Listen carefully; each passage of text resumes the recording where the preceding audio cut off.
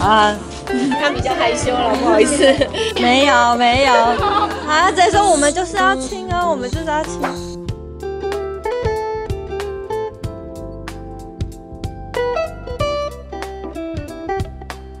当然是他自己想的，我怎么可能会要跟他亲啊？有点为难。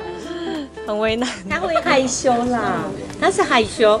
然后我是想说，因为因为小时候呢，从婷婷出生，我跟我先生我们一起就是说，只要呃小孩子要出门啊，或者偶尔我们都会亲亲跟抱抱。那自从呢，他们开始青春期变少女之后，就很少有这样子亲亲抱抱的这个动作。那所以我都很珍惜我跟我女儿相处的时间，是一个呃妈妈对女儿的爱这样子。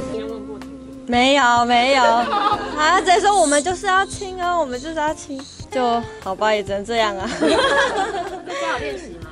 没有，怎么可能？就直接刚直接了。对啊，我们连排彩排的时候都没有。彩排的时候他都很害羞，他让我亲他的脸颊，也没有亲他的嘴巴。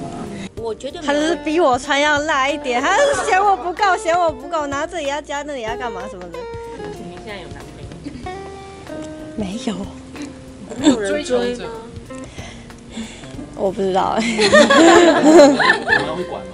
啊，我不会，我不会，因为我有我跟我先生都有一个非常，是我先生比较 open 一点，他说小孩子因为在这个年纪交男朋友算正常，但是如果交了男朋友一定要带回家来给爸妈看，对，这个是一定要的，然后爸妈先过滤一下这样子。